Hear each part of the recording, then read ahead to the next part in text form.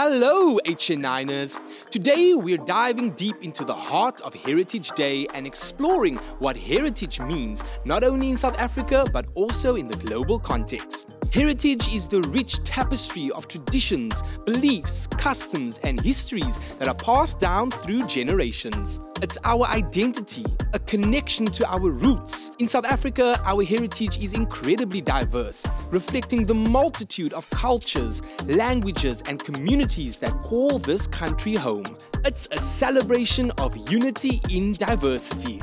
Heritage transcends borders. It's a global phenomenon that shows how interconnected we all are. Our heritage connects us to the world and the world to us. Heritage is indeed a bridge between the past, present, and future, not just within a nation, but across the globe. And Heritage Day in South Africa is a chance for us to embrace our differences and appreciate our shared history.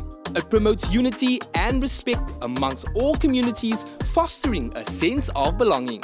So kom ons wees trots op ons erfenis. Gelukkige erfenismaand.